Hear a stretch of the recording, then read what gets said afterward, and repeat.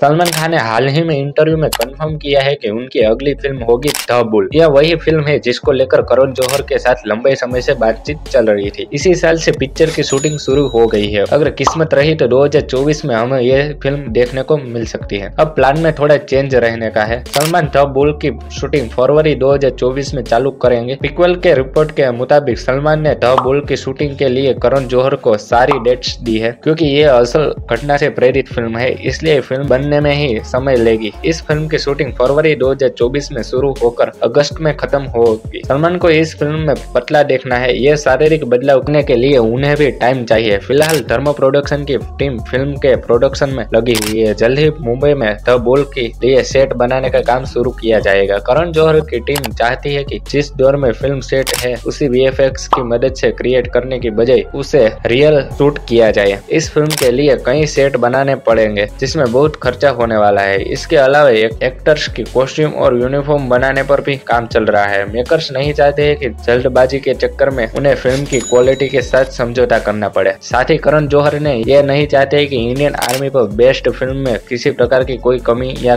चुक रहे। उन्नीस में हुई भारतीय सेना द्वारा किए गए ऑपरेशन केक्स पर पिकवेल की रिपोर्ट में बताया गया है कि इस फ़िल्म के टेंटविट तौर पर बनाया जा रहा है। हालाँकि मेकर्स कुछ और नाम भी विचार रहे हैं जो उन्हें फ़िल्म की कहानी के लिए सबसे ज़्यादा सुटेबल लगेगा। उसी के साथ वो आगे बढ़ेंगे। द बुल की कास्टिंग अब तक फाइनल नहीं हुई है। सलमान के अपोजिट किस हीरोइन को कास्ट किया जाएगा, उसके लिए कुछ नामों पर चर्चा चल रही है। इस फ़िल्म को विष्णु वर्धन डायरेक्ट करेंगे। उन्हें करण जौहर के प्रोडक्शन में बनी शेरशाह अपने हिंदी सिनेमा में डेब्यू किया था। अब वो अपनी दूसरी हिंदी फ़िल्म भी करण की कंपनी के लिए ही बना रहे हैं। द बुल की शूटिंग अगस्त 2024 में खत्म होगी। मेकर्स इसे ईद पर 2025 पर आने की तैयारी में मगर एक चीज़ समझ नहीं आ रही है। अगर सलमान फरवरी से अगस्त तक द बुल शूट करेंगे तो टाइगर वर्सेस पठान कब शूट होगी? पहले आदित्य चोपड़ा टाइगर वर्सेस पठान को मार्च 2024 में लॉन्च करने के लिए सोच रहे थे। मगर सिंगम अगेन, जैसे बड़ी बड़ी फ़िल्म आ रही है। आपको ये वीडियो कैसी लगी? हमें कमेंट करके ज़रूर से बताइए। और ऐसी रिलेटेड अपडेट पाने के लिए हमारे चैनल को सब्सक्राइब कर दो और बेल नोटिफिकेशन को ऑल पे सेट कर दो, ताकि हमारे वीडियो का नोटिफिकेशन सबसे पहले आपके पास पहुँच सके।